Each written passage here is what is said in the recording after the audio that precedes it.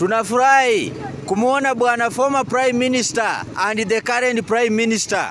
That is Raila Amolo Odinga and Musalia Mudavadi Wycliffe wakiungana jana katika press briefing kuhusu mikakati ambayo imewekwa in place kuhakikisha ya kwamba wana come up na timu ambayo ni imara, timu ambayo itahakikisha kwamba imedisperse wajumbe wake katika Afrika mzima in the process of ensuring that they have campaigned for and ensured that former Prime Minister Right Honorable Raila Amolo Odinga has actually emerged the winner of the African Union. Huyu mtoe hapa. Why? Why between my interview? I hate you. Mumulike kidogo. Why between my interview, man? Huh?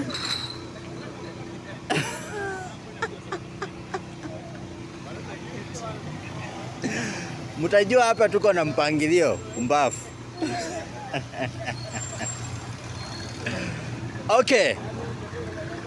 Right Honorable Raila Amolo Odinga walipokuwa na briefing na bwana Mudavadi at Mudavadi Center hapo Railways, tuligundua ya kwamba wamekama up na timu ambaye itakuwa dispersed across East Africa to ensure that wamefanya kampeni ambaye itakayomwezesha bwana Raila Amolo Odinga kwenda AU.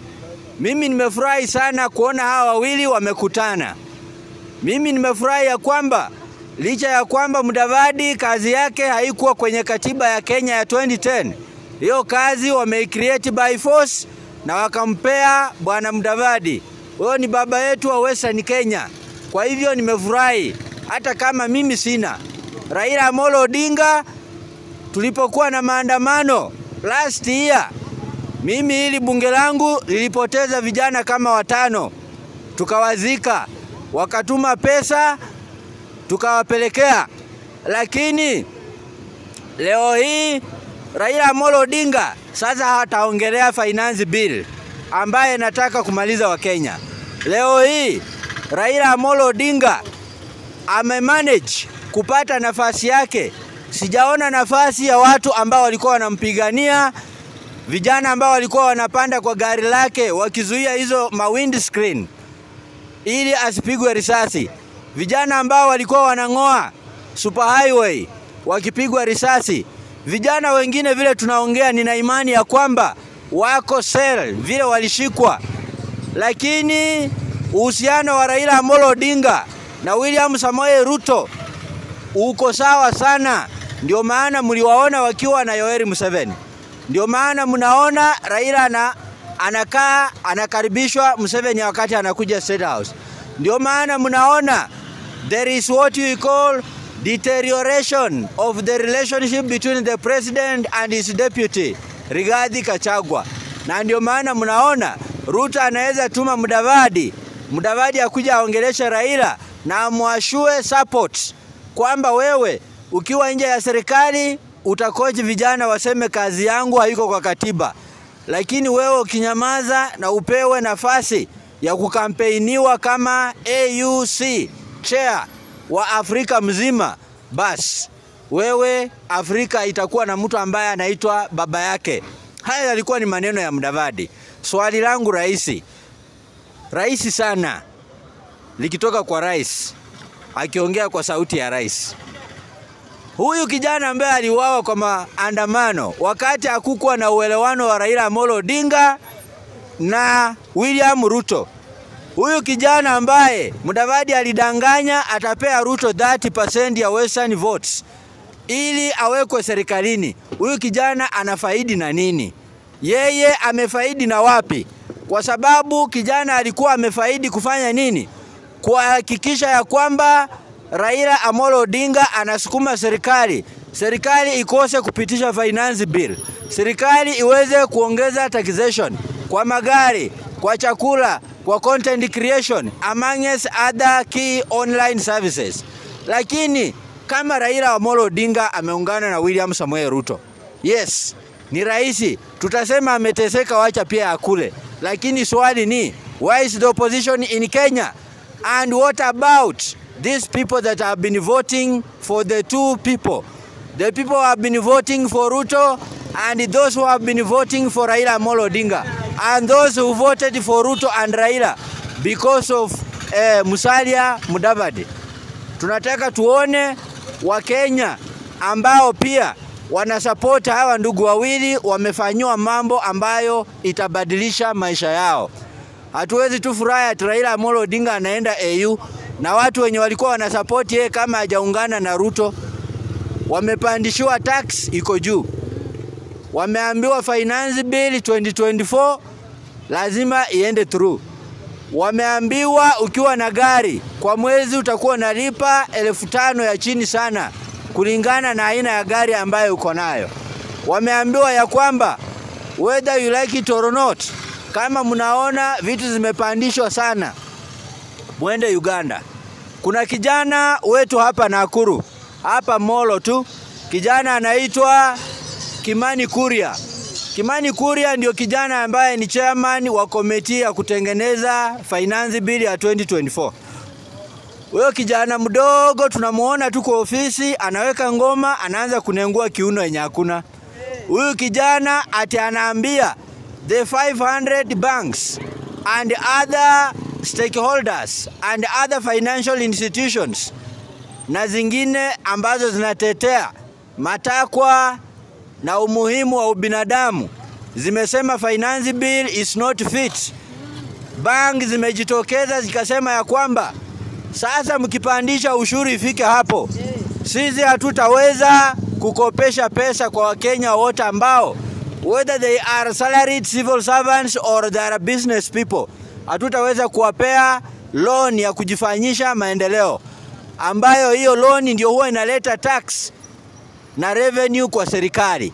Wanasema they risk closing down banks, lakini sisi tunaona sasa serikali na opposition zimeshikana.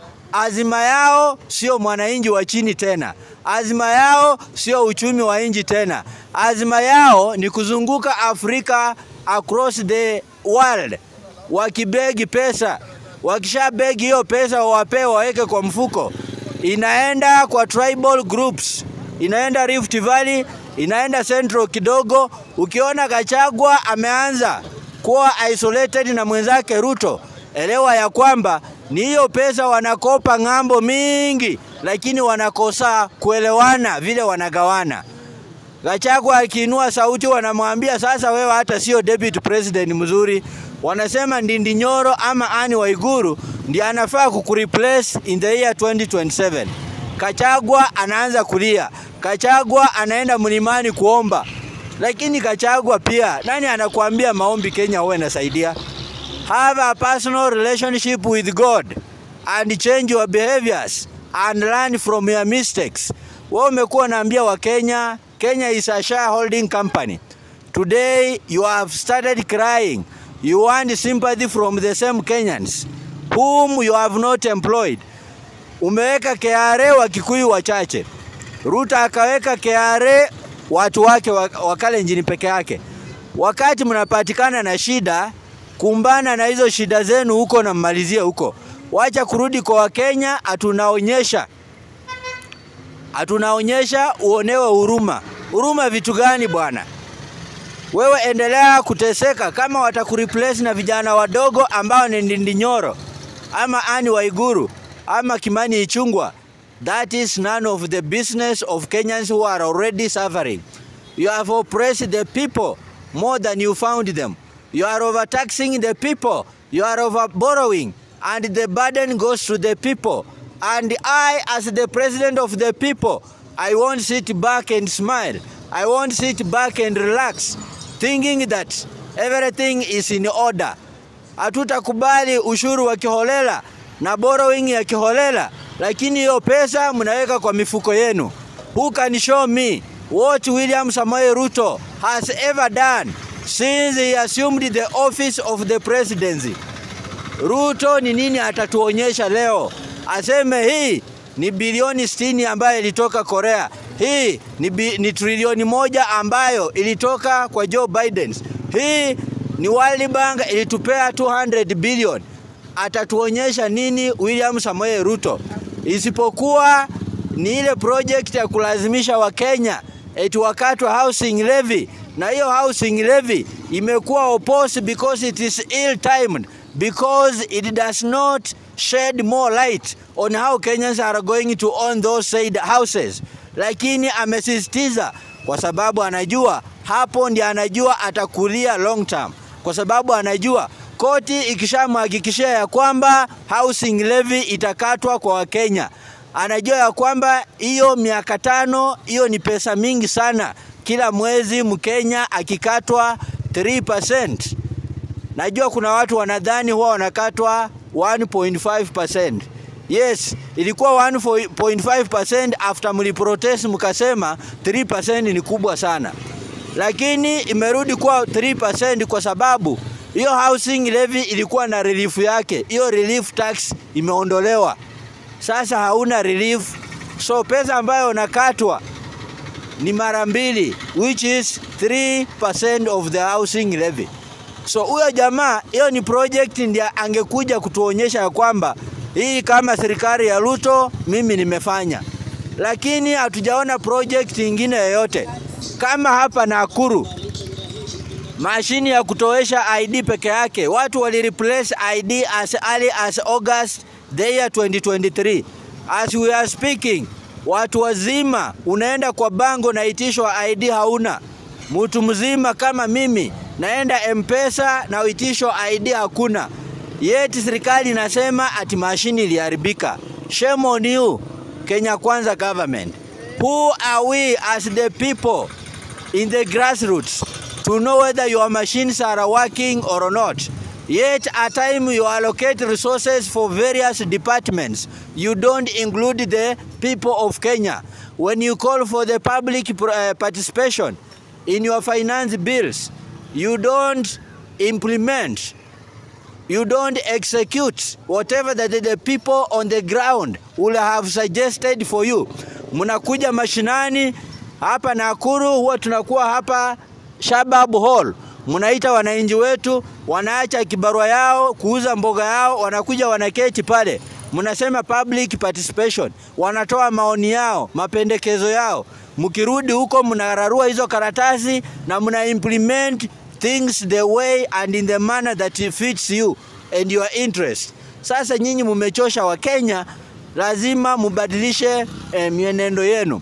So William Samoei Ruto, ungefanya kitu moja, either ungeendelea kukopa tukilipa na uachane na kuovertax wa Kenya, ama unge overtax wa Kenya na tuone deni ike inapungua, si namna hiyo? Yeah. Eh, uwezi kuwa wewe una overtax wa Kenya usiku na mchana. At the same time deni ya mabilioni ya Eurobond inaendelea kupanda. You are weakening the two. Wewe uko na ng'ombe ambayo unakamua maziwa usiku na mchana, na ukienda ulewe pombe, ukirudi hii ng'ombe unakata nyama kidogo, ikitembea unakata mkia ya ng'ombe, unaenda unalewa hii ng'ombe, kesho utakamua asubuhi. Lakini unakuja unasema wacha nikate mguu ya nyuma. You are weakening the sources of revenue collection in Kenya. You have overtaxed key items. Kama raw material, umeovertax stima, ume, housing levy. Huyu mfanyikazi ako na wafanyikazi mia moja ama elfu moja ali akate mtu housing levy na pia amwongezee, atabaki na nini? na umeba, umepandisha stima na wewe pia umefanya nini? Umepandisha raw material, inflation rate is high. Huyu mtu at the end of the day ataopti kufunga hiyo biashara yake, na ndio maana nakwambia, umelea ng'ombe anakupea maziwa, hulishi huyo ng'ombe, badala yake. Ukienda kulewa, ukirejea nyumbani jioni umelewa, huelewi kitu unafanya, unakata miguu ya nyuma, unakata pembe, unakata mwili na bado unangoja maziwa siku ya kesho. Kama unataka mambo ambayo unayasema yatekelezwe ipasavyo, wewe fanya kitu ambacho kinakufaa kuhakikisha ya kwamba there is more revenue collection. Lakini when you ban the revenue collection avenues and think that tomorrow you are still going to collect the taxes that you want, that is a true lie. That is a dream during day time Nikimalizia, kuna huyu kijana ambaye anaitwa Ian Njoroge. Ian Njoroge wakati alikanyaga yule traffic officer, kulikuwa na mixed reactions. Kulikuwa na wale ambao walikuwa wanasema ya kwamba maaskari ni wabaya, maaskari wacha wapigwe, walitupiga wakati wa COVID-19. Wengine wakasema ya kwamba huyo kijana alikosa, alimake wrong turn. Kijana akaitishwa hongo, akakataa, akapiga askari. Wengine wakasema huyu askari alikuwa ni kama baba yake, kwa sababu kijana alikuwa tu ni miaka kumi na tisa. So jana tumeona audio clip ikiwa na picha ya Mike Mbuvi Songo, former governor of Nairobi, former member of parliament Makadara constituency, Nairobi County, akisema ya kwamba eti mama ya huyo kijana alimpigia simu akamwambia oh, kijana aachiliwe, asamehewe kwa sababu ofisa alitaka elfu kumi hongo, kijana akampa tano akakataa.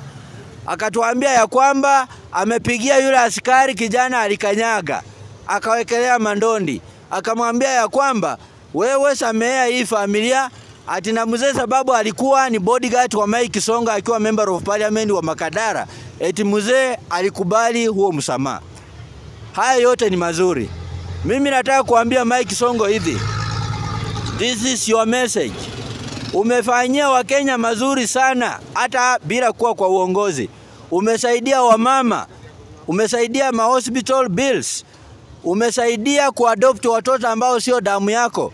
Tunakumbuka kuna mtoto ambaye alipigwa risasi akiwa mchanga sana huko Garissa, ukaenda ukagharamia matibabu, akapona, ukamwadopt yeye na familia yake. Sasa hao watoto wameenda mbali sana, na usaidizi mwingine mwingi. Kama ulishinda Raila ukaenda huko Nyanza ukachukua Konjesina Acheng. Ukamtibu akapona, ukamfanya kuwa personal assistant wako. So hayo mambo ni mazuri ulifanya, lakini kesi ya jinai crime case kama ya kijana anakanyaga mtu in broad daylight, kijana hata hajakaa wiki moja kwa sel, na wewe unaanza kuambia Wakenya ya kwamba ati mama yake amekupigia simu. That is bullshit. Eti huyo mzee ati amesema mmetoka mbali, sasa afadhali aumie, ati pole, ati mheshimiwa, nimekubali kusamea kijana. Ujue hii Kenya ukizaa mtoto na uchape huyo mtoto ni public, sisi tutakuchapa. Ndio ujue mtoto ni wa serikali, sio wako. Sasa kesi waachia koti za Kenya, just because the only mzee has said that he is willing and ready to forgive the family of Ian Njoroge. You have no power, you have no audacity, you have no the principles to command that the case against the perpetrator be withdrawn with immediate effect. Wacha kijana amalize mashtaka yake, ndiposa akuwe kielelezo kwa vijana wengine huku nje ambao wanaweza fikiria they can break the law and walk scot free. Leo Ian akiachiliwa atoke sel, niko shua vijana wengi sana wataanza kumisuse their energies, wataanza kuvunja sheria, wataendelea kupiga maaskari barabarani wakijua ya kwamba after all kama Ian Njoroge alikanyaga traffic officer na akawaachiliwa baada ya Mike Songo kupiga simu, mimi ni nani? Bado nitaachiliwa tu. Kwa hivyo huyo kijana wacha aserve the remand service the days that he has been remanded, let him service the days up to the end, na kama ni kumsamehea wacha akae huko kama miezi kadhaa. Kama amehukumiwa mwaka mmoja, akae miezi tano ama sita, ndiposa aachiliwe. Lakini mtu hawezi kushikwa leo. Tunaona kabisa amegonga mzee ambaye ako na ugonjwa wa diabetes, alafu ati influential politician anaamuka anasema ya kwamba familia yake imepiga simu, kijana aombe msamaha, awachiliwe. Na by the way, that mzee who is saying that he has forgiven the family of Ian Njoroge, tunataka tujue ukweli wake, kama kweli pia alikuwa ameitisha hongo ya shilingi elfu kumi pia yeye tufungulie mashtaka. Hakuna mwizi na hakuna mwenye anaangalia mwizi. Mkimwaga mboga tunamwaga ugali, mkimwaga ugali tunamwaga mboga, mkichukua mboga mwanze kukula tunatia mchanga, hatukuli sisi wote. Lazima tusafishe ue, utumishi kwa wote. Kama mzee anasema pole, hakuumizwa ama aliumizwa, amesamea kijana, mbona alikuwa anaitisha elfu kumi pia yeye? Na kama kweli mliona huyu kijana anafaa ashikwe afungwe, mbona tena mnaanza kutuambia ati oh, mzee sijui nini? Mwache hiyo maneno kuzungusha Wakenya. Sina mengi. Kwa majina naitwa Robert Makoha Wangoho.